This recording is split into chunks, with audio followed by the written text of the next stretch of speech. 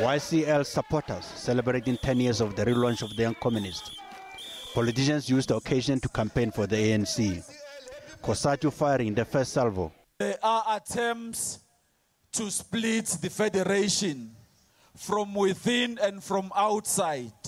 But I want to tell you today that those attempts are not succeeding, they will not succeed. The SACP deputy chair also criticized the DA. We are forced to point out some truths about Dr. Ramphele.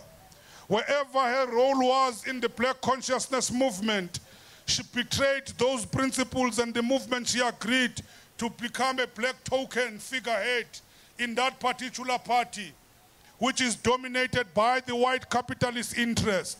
Steve Biko must be turning in his grave. The rains ended the proceedings. Montlengani Dipoku, SABC, Sharpeville.